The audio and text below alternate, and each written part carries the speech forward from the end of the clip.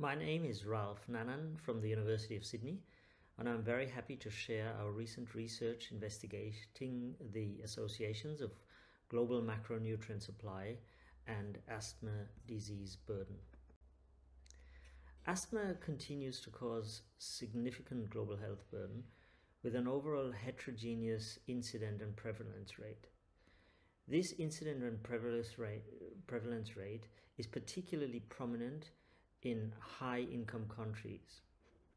This can be seen here based on a recent study published in Allergy by Shen et al.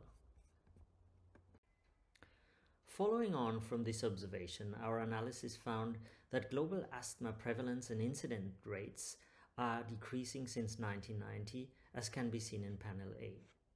One of the key environmental factors impacting changes in asthma incidence and prevalence is nutrition and diet.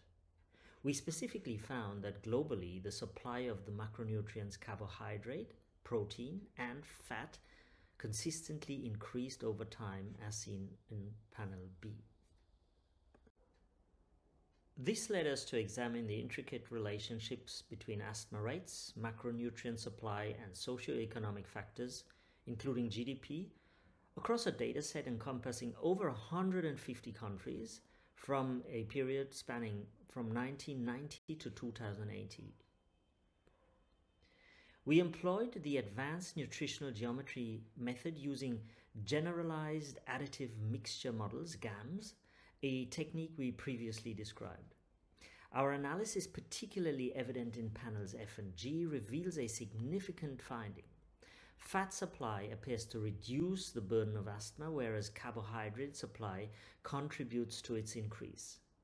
This is depicted with red indicating higher asthma rates and blue representing lower asthma rates.